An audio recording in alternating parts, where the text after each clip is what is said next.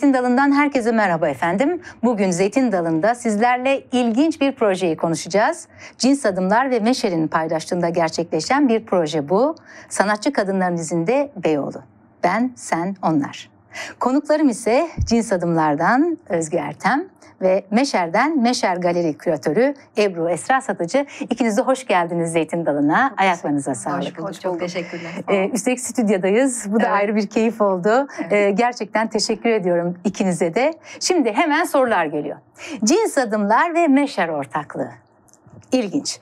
Bu kez Beyoğlu'nun çünkü cins adımların ilkinde Kadıköy'deydik. Ben ona da katılmıştım. Bu da çok keyifliydi. Beyoğlu'nun mekan olarak seçilmesini görüyoruz. Bunun nedeni, nedenleri neler? Tek tek sizden dinlemek istiyorum. Esrem sizden başlayalım önce. Nasıl isterseniz Tamam, olur buyurun, tabii buyurun. ki. Ee, en başta tabii Meşer Beyoğlu'nda e, bir e, galeri, bir kültür sanat mekanı. Ee, tabii bundan da öncesinde Meşer'de e, Sanatçı Kadınların Yüzyılı sergisi, Ben Sen Onlar Sanatçı Kadınların Yüzyılı sergisi Ekim 2010 Ekim, Ekim 2021'de açılmıştı sergimiz. Ve e, biz sergileri hem yayınla hem e, yani Meşer'de her sergimize bir yayın eşlik ediyor hem de etkinliklerle planlıyoruz. Ve e, bu sergiyi düşünürken de e, hazırlarken de hep böyle cins adımlar aklımızda vardı. Çünkü sergimiz malum sanatçı kadınların yüzyılı ve cins adımlarında e, bu tarz etkinlikler yaptığını yani serginin konusuna çok uygun et- etkinlik yaptığını zaten biliyorduk. Sergi harika bir sergi var. Çok teşekkürler. Kutluyorum. Sağ olun, sağ olun. Ee, belki çok kısa sergiden de bahsederim. Lütfen, lütfen. Ee, sergimiz Meşer'in 3 katına yayılıyor. Ee, 117 sanatçı kadından 232 adet eser e, sergiliyoruz. Serginin küratörlüğünü Deniz Artun üstlendi. Ee, ve e, 2021 yılında açtık sergiyi demiştim. Ee, aslında araştırmaları, hazırlıklarını 2019'da başladık. Dolayısıyla araştırma süreci yaklaşık 2 yıl sürdü. Hmm. Ee, bol bol e, literatür araştırması, e, gazete arşivleri, e, dergi arşivleri, dijital arşivler. Bir de tabii pandemiye denk geldi araştırma Ya, sürecimiz. Tabii tabii tabii. Böyle evet Hı. hafif bir talihsizlik vardı ama bunu da bir şekilde avantaja çevirmeye çalıştık. Bol bol dijital arşivleri kurcaladık o dönemde. Ee, böyle bir araştırma sürecinde işte tam da cins adımlar aklımıza geldi. Yani böyle bir etkinlik yapsak ne kadar güzel olur diye düşündük. Çünkü o süreç bizim sanatçı kadınları hem sayı olarak e, fark ettiğimiz aslında ne kadar fazla olduğunu fark ettiğimiz bir dönem oldu. Çünkü araştırmaya başladığımızda elimizde lis- elimizdeki listede yaklaşık 20-25 tane Hmm. isim vardı ve günün sonunda 117 sanatçı kadın oldu bu listemiz. E, dolayısıyla bizim de tanımadığımız çok isim vardı. E, çok hakikaten bizim de bilmediğimiz ki sanat tarihi eğitimi almamıza rağmen çoğumuz Ne hazin değil mi? ya evet maalesef maalesef bir şekilde işte ya kaynaklara girememiş ya da kaynaklarda çok az bahsedilmiş ya da bir tezin dipnotunda gördüğümüz, ölüm ilanında gördüğümüz mesela gazetede yanında parantez içinde işte ressam yazıyorsa onun peşine düştüğümüz bir süreç oldu. Ee, ve tabii bu sanatçı kadınların hayatlarına da baktık. Yani yaptılar, nerede okudular, e, nasıl hani sanat üretim pratikleri nasıldı? Ee, tabii bu özellikle eski tarihli kaynaklarda özel hayatlarına da oldukça değiniliyor. İşte evli mi, çocuklu mu Ee, bunları da Evet, okuduk. Evet. Ee, ve fark ettik ki Beyoğlu e, aslında e, hakikaten hepsinin kümelendiği, bir şekilde dokunduğu, hepsi olmasa da Hmm. önemli bir kısmının dokunduğu bir mekan. Çünkü malum Beyoğlu bir kültür sanat alanı. Beyoğlu, Ezelden Beyoğlu beri. zaten. Evet, Evet. her zamanki gibi. Ee, böyle bir fikir oluştu kafamızda. Burada tabii iş arkadaşım, çalışma arkadaşım Şeyda Çetin'i de anmalıyım. Ee, böyle ikimizin hani hakikaten hayal ettiği bir şeyle e, başladı ve cins adımlara tabii ulaştık. Zaten sevgili Özge ile daha önceden de çalışma arkadaşlığımız vardı bizim e, Koç Üniversitesi Anamet'te. Hı Ulaştık ve e, cins adımların müthiş ekibi, o müthiş özverili çalışan ekibi bizi sarıp sarmaladı, kucakladı. E, Evet. böyle uzun uzun toplantıları, e, ufak eğitimler, ufak ve kıymetli eğitimlerle e, bu rota oluşturuldu. Böyle bahsedebilirim. Evet, şimdi cins adımlara gelmek istiyorum tabii. Ee, Kadıköy'deki e, yürüyüş de inanılmazdı. Ee, ve biz aslında cins adımları Zeytin Dalı'na ikinci kez konuk ediyoruz. Ee, ben onu sormak istiyorum sana da yine. Ee, bu m, Beyoğlu fikri daha önceden düşünülmüş müydü yoksa hadi bir de Beyoğlu yapalım mı dendi? Aslında e, cins adımların tarihi Beyoğlu'na bir Hı. anlamda e, dayanıyor. E, cins adımların ben ekibine son yıl pandemi döneminde aslında katılmış oldum. Kocaman yıllara dayanan bir birikimin e, yarattığı bir yürüyüş, e, toplumsal cinsiyet ve hafıza yürüyüşü programı. Ayşegül Altınay 2014 yılında Sabancı Üniversitesi'nden e, bir grup e, öğrenciyle, bir grup insanla Karakutu Derneği ile hafızayı harekete geçiren e, kadınlar, hafızayı harekete geçirmek üzerine e, yapılan bir sergi e, ve e, yürüyüş ortaklığında ilk kez İstanbul'da Beyoğlu'nda o ekip 2014 yılında başlatıyor bu yürüyüşü. Yani bizim Meşer'le e, Beyoğlu üzerine konuşurken sevgili arkadaşlarımla Beyoğlu'nda bu kadınların izini nasıl takip ederiz? diye e, üzerine e, eğilirken aslında e, Meşer'in de araştırmasını yaptığı bu kadın sanatçıların arasında zaten e, cins adımların Beyoğlu yürüyüşünde olan e, kadın sanatçılar da vardı. Aliye Berger gibi, Meryem Şahinyan gibi ve sonra diğer kadın sanatçılar bunlara eklenince e, kafa kafaya e, verdikten sonra Meşer'in yaptığı bütün bu güzel araştırmalarla yeniden Beyoğlu'nda başka bir yürüyüş rotasıyla bu sefer cins adımlar e, bir ortaklık içerisinde yürüyüş yapmış oldu. Şimdi tam da onu soracaktım. Bu e, paydayı oluşturan temeller e, de ne yatıyor? Yani evet hepsini biz sanatçı kitle olarak görebiliriz ama ufak farklılıklar da olabilir. Hem onlar ne hem farklılıklar ne onu sormak istiyorum size. Ee, şöyle aslında en başta e, sanırım benzerlikler e, çünkü hepsinin tekil bir mücadelesi olmuş hayatında biyografilerine baktığımız zaman. Ee, yani eğitimleri olsun aile hayatları olsun hakikaten biraz mücadele ama hani bu e, farklı mecralarda yani Evet. şu şöyle anlatayım bazı sanatçı kadınların çok avantajlı yani sosyokültürel kültürel olarak çok avantajlı ailelerden geldiğini gördük mesela. Ee, işte örneğin Aliye Berger Evet. biraz önce andığımız e, zaten sanatçı bir aileden yetişiyor. Ama bazıları bu kadar avantajlı değil tabii ki. Bazıları hatta e, okuma yazma bilmeyen bir sanatçı kadınımız bile var e, sergide. E, dolayısıyla hani bu e, mücadele alanları farklı olsa da aslında hepsinin hayatında bu bir e, ortak özellik olduğunu söyleyebilirim. Tırnaklarıyla gelinmiş olan Evet, yerler. evet. Çünkü Aliye Berger bile bu kadar e, avantajlı bir durumdan yani sosyokültürel olarak e, böyle bir konumdan gelmesine rağmen aslında erkek meslektaşları tarafından en başta biraz hor görülmüş. Hı hı. Özge hikayesinde çok güzel bahsediyor Evet, bundan. evet. E, benim aklıma gelen hani bu böyle bir benzerlik, böyle bir mücadele alanı. Farklılıkları da aslında dile getirdin bir şekilde. Yani eğitim anlamındaki farklılıkları gibi buna eklenecek bir şeyler var mı? Aslında yani ortaklıkları üzerinden en başta başlayıp o hikayelerin daha detaylandırılması sürecinde bütün o farklılıklar da yola çıkıyor. Ama bizim için galiba en etkileyici kısımlarından bir tanesi bütün bu rotayı yürürken bütün bu kadınların farklı farklı yıllarda, farklı farklı mekanlarda bazen birbirleriyle yolları kesişerek bazen kesişmeyerek. Yani Maya Sanat Galerisi'nde Adalet Cimcoz e, açılış yaptığı zaman orada Aliye Berger'in e, bulunması, Yıldız Mora'nın e, fotoğrafçılığa başladığı e, e, kadrajın ka- karşısına arkasına ilk geçtiği zamana 1951 yılına denk gelmesi, e, bütün bu yıl ortaklıklarından ziyade bir de aynı zamanda mücadele ortaklıkları Evet. e, bizi çok çeken e, bir şey oldu. Dolayısıyla her birisinin de sanat tarihi içerisinde olduğu kadar toplumsal hayatın içerisinde de aslında bastırılmışlıkları, Çok önemli. bedensel ve Çok ruhsal varlık göstermeye çalışmaları çok esaslıydı. Ama tabii bunun yanında daha başarılarıyla ön plana çıkmış kadın sanatçılar da var. Daha e, ne bileyim bir hastanede hayatı daha çok sonlanmış ve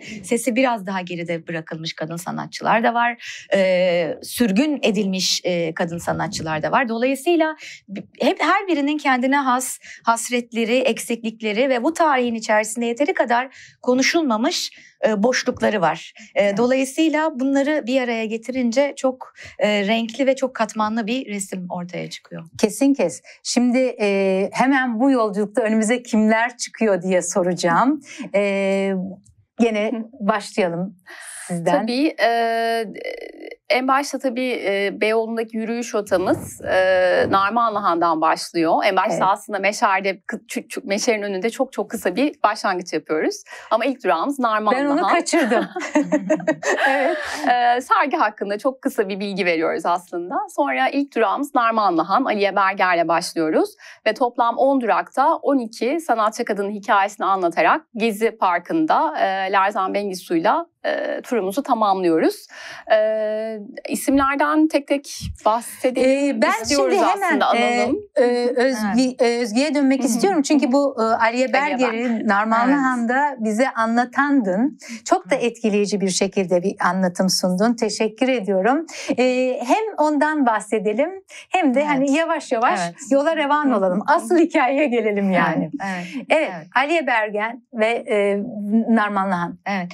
Biz Meşer'den yola başlıyoruz aslında bütün ekip. Ee, yürüyüşe gelen dostlarımızla beraber, katılımcılarımızla ve ilk durağımız Narmanlıhan e, ve Aliye Berger e, oluyor. Aliye Berger'in e, orada e, yaşamış olduğu stüdyoda aslında e, Ayla Erduran'ın o çok meşhur, ikonik e, keman çalan fotoğrafından da yola çıkarak çünkü orası Ali Aliye Berger'in e, stüdyosuydu. Oranın nasıl bir sanat üretim mekanı olmuş olduğundan bahsediyoruz. Fakat bu hikayeyi biraz şöyle de katmanlı hale getirmek bizim için önemli. Sonuçta Narmanlıhan, yani benim hikayemin adı Narmanlıhan'ın hakiki suretleriydi. Çünkü Narmanlıhan büyük bir e, o restorasyon sonucunda 2016 yılından sonra aslında bizim gözümüzde büyük bir e, yıkımla yok oldu. Yani Yok şu an oldu. bir Narmanlıhan var e, ve içinde bir illüzyon müzesiyle ama e, bizim hikayesinin peşinden koştuğumuz ve yaşatmaya çalıştığımız ve tıpkı kentsel mücadeleleri vermiş Beyoğlu Kent Savunması gibi nice oluşumlar gibi nice insanlar gibi biz de hafıza açısından yaşatmaya çalıştığımız yer Aliye Berger'in oradan atılan kedilerin oradan atılan ailenin her biriyle bütün o binanın o korsan kedinin orada yıllarca yaşamış ve Aliye Berger'in ve bütün oradaki kadın sanat oranın o entelektüel canlı sanat üretim ortamının bir zamanlar nasıl bir yer olmuş olduğu çünkü kuşkusuz Beyoğlu çok e, dönüşüyor, dönüştürülüyor. Pek çok farklı e, propagandanın ve ideolojinin aslında bir hakimiyet alanı haline de geliyor. Buradan tabii ki e, Gezi duruşmasını da anmak isteriz. Bizim yürüyüşümüzün en son durağı e, Gezi Parkı'nda e, evet. sevgili Lerzan Bengisu'nun barış heykelinin yanında sonlanıyor. Biz Narmanlıhan'da yürüyüşümüze başlarken de Gezi Parkı'nda, Gezi Parkı'nın ağaçlarının arasında Lerzan Bengisu heykelinin yanında bitirirken de e, bizim için çok önemli bir e, kenti, tarihi ve hafızayı koruma meselesi var. Dolayısıyla buradan özellikle bu yürüyüşlerimizi de e, Mücella Yapıcı'ya ve e, Gezi e, davasında şu an içeride e, içeriye konulmuş ve kavuşacağımızı yine de umduğumuz arkadaşlarımıza da e, adamak isterim en azından cins adımlar adına. Bence de onları adayalım. Evet. Ve yaşam Evet. diyelim. Evet. E, Aliye Berger'in dışında kimler var? Evet, e, hemen Narmanlıhan'dan e, devam ederek e, ikinci durağımız Kallavi Sokak'ta. Orada e, biraz iki üç tane sanatçımızı anıyoruz. Çünkü Kallavi Sokak aslında e, anladık ki biz de bu e, araştırma sürecimizde aslında sanat tarihimizde önemli bir yeri olan yer. E, Kallavi Sokağı, e, Kallavi Sokak'ın ev sahipliği yaptığı e, çok önemli bir mekan olan Maya Galeri. E, Maya Galeri e, tabii Türkiye'deki e, sanat galerilerinin öncülerinden ve belki en önemlilerinden. E, bu durakta Adalet Cimcoz'u anıyoruz. Bu galerinin kurucusu olarak ve uzun yıllar tabii yöneticisi olarak. E, aynı sokakta e, hemen o e, malum e, kal, e, Maya Galeri'nin yanında e, bir de Yıldız Mora'nın bir atölyesi var. E, Evet. Yıldız Mora'nın da fotoğraf sanatçısı Yıldız Mo- Mora'nın hikayesini de orada dinliyoruz e, gönüllü arkadaşlarımızdan. Yine Maya Sanat Galerisi'nde tabii sergi açmış sanatçı kadınlar var. Bunlardan bir tanesi Freya Koral. E, bildiğimiz tabii ünlü seramik sanatçısı ve yine Aliye Berger'le kardeş e, olan yine aynı aileden Freya Koral. E, ve bir de bizim e, sergide aslında biraz ismini duyurmaya çalıştığımız Hakkiye Koral, annesi Freya Koral'ın. E, çünkü serginin amaçlarını ara ara tabii ben de aslında Özge'de dolaylı olarak e, anlatıyoruz. Hani biraz kanonlarla e, oynuyoruz yani kanonları hafif yıkmaya çalışıyoruz, sarsmaya çalışıyoruz sanat tarihi yazımının kanonlarını. E, Hakkiye Koral'ın hikayesi de buna uygun bir hikaye. Aslında e, o sergimizde işlediği bir çantayla e, temsil ediliyor. Çünkü kendisi güzel nakış e, çantalar yaparmış ve e, bizim sergimize de böyle bir çantayla e, katıldı. E, aslında hani burada sanat zanaat ayrımını da sorgulamak, e, sorgulamayı hedeflemiştik. Özellikle Deniz Arto'nun e, böyle bir isteği vardı. Çünkü e, günün sonunda zanaat hani biraz daha böyle küçük görülürken işte kadınlar işte bir şey işler, bir şey yapar. Hani o büyük sanatçı miti, o ikonik işte muhtemelen de erkek, evet kanonik e, erkek sanatçı mitini biraz e, sarsmak. Hakikaten kadınların da böyle işleri var. Onlar da önemli dediğimiz bir yer. Ve yine aynı galeride e, sergi açmış Nasip İyem'i de anıyoruz bu durakta. Evet, ben tekrar Özge'ye Evet. dönüyorum. Devamını da senden Tabii. dinleyelim. Tabii e, Kallavi Sokak'tan e, çıkıyoruz ve Mısır Apartmanı'na doğru heykeltıraş İrayda Beri'nin e, hikayesine doğru e, yürüyoruz. Yani biraz aslında kısaca e, hepsini özetleyerek de gideyim. E, oradan çıkıyoruz Foto Galatasaray, Meryem Şahin yani yine cins Evet, adımların evet. e, duraklarından bir tanesi olan e, ilk profesyonel Ermeni e, kadın e, fotoğrafçı ve çok e, fazla e, gerçekten toplumsal cinsiyet normlarını da sarsan nitelikte eserler üretmiş. Karşısında bütün o İstanbul halkının aslında rahatlıkla poz verdiği ve 200 binin üzerinde fotoğrafı olan Meryem e, Şahinyan, İrayda Beri'nin heykellerinden ve aslında biraz daha geride kalmış hikayesinden çıktıktan sonra Meryem Şahinyan biraz daha özellikle cins adımlarla da biraz daha bilinen bir figür e, olarak e, ikisini de yan yana getirmiş oluyoruz. Daha sonra ressam Ivis Stangali ve onu aslında daha çok sürgün hikayesiyle de e, anlatıyoruz. Çünkü e, gerçekten Esra'nın da çok güzel dile getirdiği gibi bütün bu kadın sanatçıların eserleri farklı farklı zamanlarda aslında pek çok şey üretmiş olsalar da e, bu tarihten, o dönemin resiminden, o dönemin heykelinden bahsedilirken geride hep geri planda bırakılmışlar. Evet, Ivis evet. E, bu ressam Ivis Stangali'nin hikayesi de benzer bir hikaye. Ya da Aliye Berger e, ilk e, sergisini açtığı zaman ya da birinci olduğu zaman 1954'teki yarışmada Bedri Rahmi Eyüboğlu'nun onu hani hiç hak etmediği bir şeymiş gibi lanse etmesi gibi pek çok benzer şeyle karşılaşıyor bütün bu kadınlar. Hızlıca yine devam edeyim. Evet. Esra'nın çok güzel yine anlattığı hikayelerden İstanbul Filarmoni Derneği'nin kurucularından Furumet Tektaş'la devam ediyoruz. Filarmoni Derneği'nin kurulduğu binaya ve sonra Taksim Cumhuriyet Anıtı'nın aslında önemli e, imza yani Taksim Cumhuriyet Anıtı'nı yapanlar da Sabiha Bengütaş'ın hikayesini ve, e, daha çok kendisi o heykelin parasını alamadığı için çok güzel iki delfin öğütoğulları Evet, çok evet. güzel o hikayeyi anlatıyordu. Asabi diye nitelendirilen ve biraz bunun üzerine gidiyoruz. Kadınlar asabidir alamayan. zaten değil mi? Evet. Ve sonra Taksim Sanat Galeri'sinde, e, tak, şu an artık olmayan Taksim Sanat e, Galerisi'nde. Bunu Esra'ya sormak Evet, istiyorum. Evet. evet. şimdi ya Evet. e, orada Taksim Sanat Galerisi artık yok. Yani Evet, bi- bizim olmayan. ülkemizin makus kaderi gibi. Yani olmayan bir sanat galerisi ve oraya e, emek harcamış olan bir kadın var. Hani kadın yok ki galeri de yok. Yani bir, yan- bir yandan da buna da insan acayip içerliyor. Doğru. Bunu nasıl bakıyorsun içeriden biri olarak? Evet, e, yani Asabi bir şekilde mi bakıyorsun? evet biz e, asabi şekillerde bakıyoruz. Yani çünkü e. Zoom toplantılarımızda bahsettiğim başta Zoom toplantılarımızda ara ara hani şöyle bir şey okudum ve çok sinirlendim. E, hikaye anlatıcısı arkadaşlarımız da aynı şekilde. Biz Evet. de onlar da e, gazetede bir küpür ya da işte bir kitapta okuduğumuz bir yazı yani nasıl böyle bir şey olabilir diye Evet. herkes hakikaten biraz yüksek e, duygularla başlıyordu. E, dolayısıyla evet yani Evet.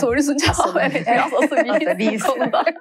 Ee, dediğiniz gibi o nokta yani turdaki o durak hakikaten çok enteresan çünkü bir e, yok yok mekanın önünde konuşuyoruz. Yani bir boşluğun önünde konuşuyoruz. Ee, Gezi Parkı'nın hemen e, yani hemen çeperinde e, bir insan topluluğu olarak duruyoruz ve işte burada eskiden e, Taksim Sanat Galerisi vardı diyoruz. bir sanat galerisi vardı. Vardı, evet. Yani bu, Bir hakikaten- varmış bir yokmuş gibi bir Evet. masal gibi. Ee, burada da Sena Özçiftçi arkadaşımız Meşer ekibinden çok güzel bir hikayeyle hakikaten anlatıyor bu durumu. Biraz böyle esprili bir dille ama yine de kızgın bir şekilde anlatıyor. Ee, ve hani e, sonuçta sanat tarihini biraz okumuş, böyle biraz hani kurcalamış insanlar Taksim Sanat e, hani yani Taksim Sanat'ın adını çok duymuştur. Yani bu hep vardır. Hani orada sergi açtı, ilk sergisini orada açtı, şu yıllarda Evet, açtı. evet. Bir daha sergi Evet. açtı gibi orada. Ee, ve aslında bu mekanın hani neresi olduğu bile bizim için bir soru işaretiydi en başta. Tam neresi diye yine Hı. gazetelere dalındı. Ee, yine Şeyda Çetin, Sena Özçiftçi e, hani ve ben böyle hani Meşer ekibi bu neredeydi diye bir bakıldı. Ee, ve hani günün sonunda onun yerinden emin olduk birkaç böyle kaynaktan teyit ederek. Çünkü o bile yani tam olarak noktası bile böyle bir hani emin olamadık tam yerinden ama sonra teyit ettik ki tam o bizim durduğumuz yerde ve öyle emin olarak e, tura dahil ettik.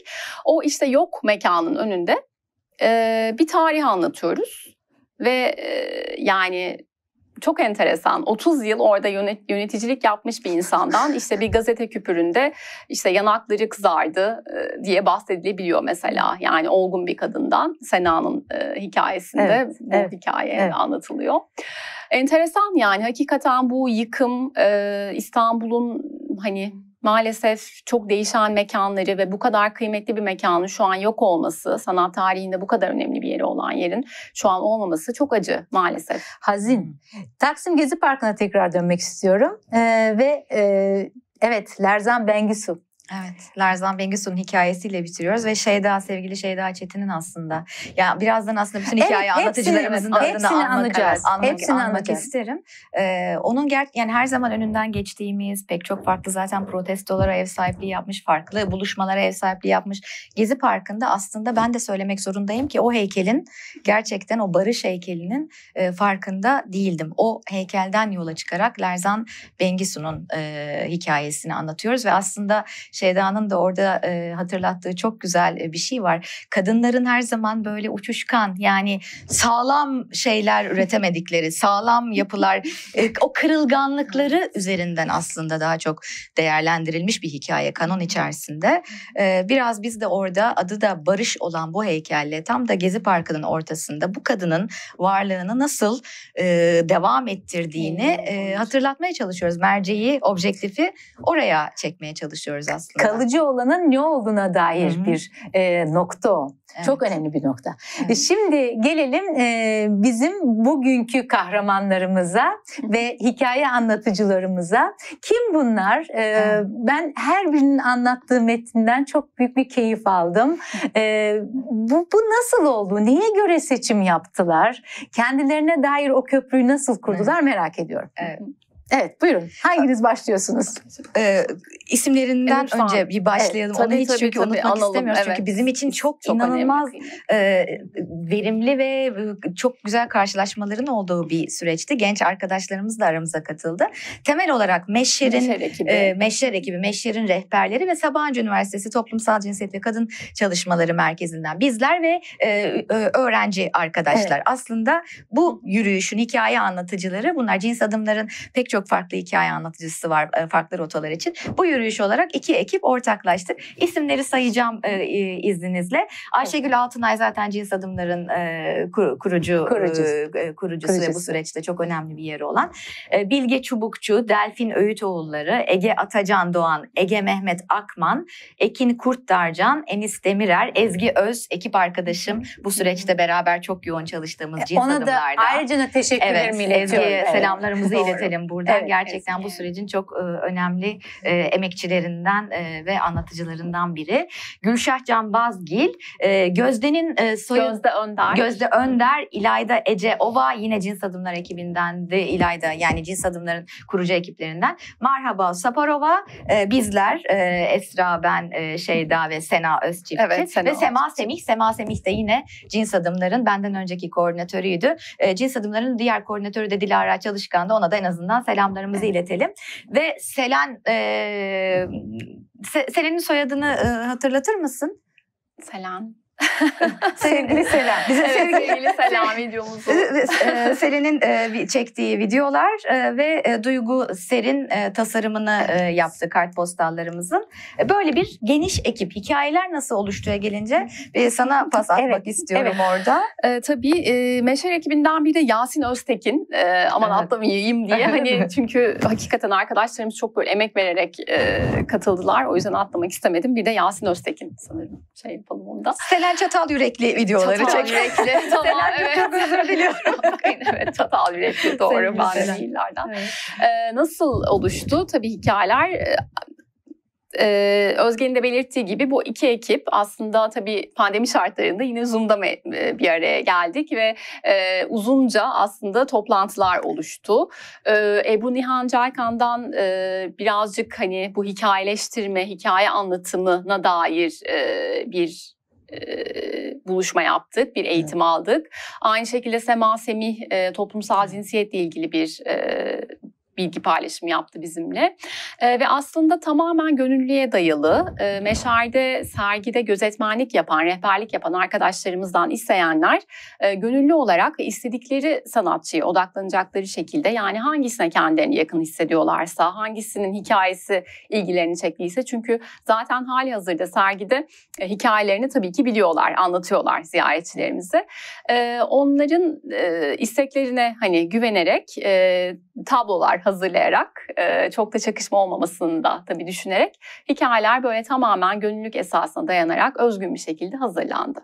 Çok başarılıydılar yani kesinlikle onu söylemek lazım. Bir de tabii görsel malzeme de var. Yani Tabii, o tabii. görsel malzeme de çok kuvvetlendiriyor işi.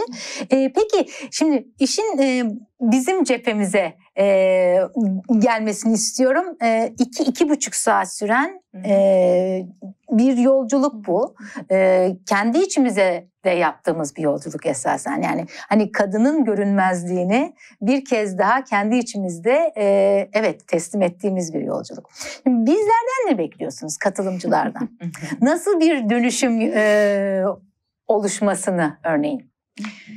Hafıza yürüyüşü gerçekten çok duyusal bir deneyim. Bizler için de öyle. Yani yürürken bir mekanı e, keşfetmek, bir mekanın önünde durmak ve o kadının hikayesiyle birlikte onu düşünmek, biraz o boşlukları hatırlamak gerçekten. Hem hikayedeki boşlukları hem de ya, bir caddenin ortasında yürüyoruz. Değişen bir Beyoğlu'nun e, arasında yürüyoruz. Hem de Az önce bir- bahsettiğiniz gibi hani Taksim Sanat Galeri art olmayan o Esra'nın çok güzel dediği yok mekanların içerisinde bu yok gibi olan daha sessiz kalmış aslında hikayeleri birlikte aramaya çalışıyoruz. Biz Ebru ile ya- da yaptığımız bütün bu atölyelerde hikayelerle bağ kurarken en önemli şey kolektif ile biricik olanı birleştirmek. Yani bu hikaye anlatıcısı arkadaşlarımızın e, bütün bu atölyelerde hep birlikte üzerinde durduğumuz şey hikayeye nereden bağlanıyorsun? Senin içen, içinde neyi canlı tutuyor? Örneğin e, Adalet Cimcoz'u anlatan arkadaşımızın aslında kendi sesle ve dublajla olan ilişkisinin onu oraya taşıması. Oradan o hikaye. Hikayeler verilmedi. Her- Herkes kendi e, kadın sanatçıların kimler olduğu belliydi. Hikaye anlatıcıları her biri kendi bağlandıkları yerlerden, bağ kurdukları yerlerden o kişiyi seçtiler Hı. ve onunla ilgili biricik bağ kurdukları tarafları da getirdiler. Keza katılımcılar için de aynı şey geçerli. İlk kez görüyormuş gibi, Hı hı. ilk kez duyuyormuş gibi o mekanın içerisinde. O hikaye çünkü orada biricik bir hikaye var aslında ve o dinleyenin içinde acaba ne uyandırıyor? O mekanın içinde gezerken ne düşünüyor? Bütün o deneyime açık olmak belki, birlikte yürümek, e, o açıklıkla e, kendi katkısını e, yapmak ve aslında hepimiz gibi o hikayeyi o biricikliğiyle e, alıp götürmek ve bir şekilde sahurlarımızdan biri de bu. Yürümek yaşatmaya devam eder mi? Bütün bu yürüyüşler neticesinde özellikle pandemiden de sonra e, ben çok daha olumlu, çok daha gerçekten yaşatmaya devam eden bir hafıza hareketi içerisinde olduğumuzu düşünüyorum. O boşlukların içerisine o sesi koymanın dahi şöyle bir e, gündem içerisinde, bu kadar ağırlıklar içerisinde o sesleri çığırmak, çağırmak, onları o mekanlara bu şekilde mühürlemenin kuşkusuz hepimiz için hem anlatıcılar için hem ekip için hem katılımcılar için kolektif bir deneyim olarak önemli bir anlamı var. Yıldız Moran'a gelmek istiyorum. Mesela onun hikayesi de çok hazin değil mi? Dünya çapında bir fotoğrafçı iken daha daha nerelere taşıyabilecekken kendini evin içine hapsediyor sonrasında. Yani üç çocuk annesi bir biçimde. Ee, yani tabii Aliye Berger'e söylenen laflar çok, çok enteresan. Böyle Evet. onun siyah yerine o renkli e, görünümü seçmesi e, ve mesela en çok etkileyen yerlerden biri oydu. Yani Evet. artık renk Evet. Kadın ve renk yani Evet, o evet, kadar çok evet. net. Ee, en çok oradan bağlandım diyebilirim. Ne güzel. Evet, evet. Şimdi e, peki efendim bundan sonraki projeler diye soracağım. Ee, ne dersiniz bize? Ee, tabii Meşer bir sergi mekanı. En başta biz e, sergiler, sergiler yapmaya devam edeceğiz. Eylül ayında yeni bir sergimiz olacak. E, fakat e, bir ihtimal e, bilemedim. Hani bunu cins adımlarla da konuşup yürüyüşler devam etme ihtimal olabilir mi ki zaten e, tabii ki cins adımlar yürüyüşlerine devam edecek. Fakat hani bu e, sanatçı kadınların izinde Beyoğlu odağında devam eder mi? Buna bunu göreceğiz sanırım Özge. Zaman Ee, içerisinde. Evet zaman içerisinde. Şimdilik hani hakikaten biz böyle bir işbirliği yapmaktan, bu kadar özverili çalışan bir ekiple çalışmaktan çok çok memnun olduk. Zaten serginin amaçlarından bir tanesi olan bu hani biraz geride kalmış, unutulmuş ya da tevazuyla kendini eve kapatmış dediğiniz gibi. Yani bir şekilde o başarılı iş hayatından vazgeçmiş, alçak gönüllülükle hep geride durmuş kadınları hakkını biraz olsun teslim edebilmekti bu serginin amaçlarından bir tanesi. O yüzden en azından bu hat üstünde 12-13 kadını anarak e, bunu bir parça olsun e, gerçekleştirdiğimizi, vücuda getirebildiğimizi düşünerek e, bu iç rahatlığıyla Evet. e, bir, bir parça olsun e, yaşıyoruz. Böyle söyleyebilirim. Eyvallah. Evet. Cins adımlar açısından da bu yürüyüşlerin devam etmesini biz istiyoruz. Bu rotanın kalıcı bir rota olarak. Başka bir rota var mı? Başka rotaları yani sizin de bildiğiniz zaten e, Beyoğlu, e, Balat ve Kadıköy Hı. rotaları devam edecek. Artık pandemi dönemi de. Sevgili Ezgi Öz aramıza e, katıldı ve onunla beraber aslında daha ekolojik perspektifi de içerecek. E, yerinden edilmiş kedilerin, ağaçların hikayelerini de daha çok birleştirecek. Yeni hikayeler peşinde de koşmaya devam edeceğiz. Ve Ne bu güzel. Meşer'le beraber yaptığımız yürüyüşünde kalıcı bir rota olarak bizimle devam etmesini e, arzu ediyoruz. E, devam Peki, etmeyi umuyoruz. Devam edecek kesinlikle. Evet. Ee, şimdi e, buna katılmak isteyenler. Benim Ayvalık'tan halam katılmak istiyor Evet. mesela. Ne yapacak? Evet. dijital, e, Evet, dijital, evet, evet. dijital turumuza e, tabii ki davet ediyoruz. Şehir dışında yaşayanları. zaman? 26 Mayıs. 26 Mayıs'ta. 26 Saat 7'de. Evet. 26 Mayıs'ta ne yapacaklar? Nereye başvurmaları gerekiyor? Ee, Kayıt kayıt et meser.org'a mail atmaları yeterli. Arkadaşlarımız kayıt alıyorlar ve tabii Hı. dijital turda e, kontenjanımız biraz daha yüksek haliyle. Evet. E, dolayısıyla kayıt et meser.org'a mail atabilirler. Peki ayrıca var mı? Aktüel olarak yapılacak olan bir şey. Evet 10 Evet. Mayıs'ta e, saat 11'de e, 10 Mayıs. Evet, sergi Fiziksel, kapanmadan evet, son son. fiziksel yürüyüşümüzü gerçekleştirmiş olacağız. Biraz da hüzünlüyüz. Çünkü gerçekten yani bir yandan yeni başlamış gibi de hissediyoruz. Yani en azından bu aşamada Evet. sergi kapanacağı için Hı hı hüzünlüyüz hı. dedim. Sonradan yeniden devam ettirmenin fiziksel yürüyüşleri de bir yolunu mutlaka Kesin kes. Devam edeceğine eminim Evet. zaten. Ee, şimdiden söyleyeyim ellerinize sağlık. Çok ben e, hem fiziksel olanına hem Evet. dijital olanına katıldım. Çok İkisinden de çok ayrı keyif aldım. Çok ayrı düşüncelere savruldum. Ee, bir de savuran da bir e, yürüyüş bu. Onu da söyleyeyim size. Savrulmak iyi bir şeydir çünkü. Ee, ve bu kadınları görünür kıldığınız için de sizlere teşekkür ediyorum. Biz teşekkür Biz ederiz. teşekkür Evet. ederiz. Evet e, efendim Zeytin Dalı'nda bugün çok özel bir projeyle birlikteydik. Hakikaten katılmanızı öneriyorum. Hiç değilse dijitalini deneyin. E, çok güzel şeyler göreceksiniz. Kendinizle buluşacaksınız. Başka insanlarla buluşacaksınız. Ve bu buluşmadan keyifle ayrılacaksınız. Bunun garantisini veriyorum bizzat yaşadığım için. Cins Adımlar ve Meşer'in paydaşlığında gerçekleşen bu proje bize sanatçı kadınların izinde bir Beyoğlu sunuyor. Farklı bir Beyoğlu. Ee, ama aslında içimizde taşıdığımız bir Beyoğlu. Ben, sen, onlar. Öyle diyelim. Konuklarım sevgili Özge Ertem, cins adımlardandı. Sevgili Ebru Esra Satıcı, Meşer'den, Meşer Galeri Küratörüydü. Çok teşekkür ediyorum ikinize de. Biz teşekkür ederiz. Hoşçakalın efendim.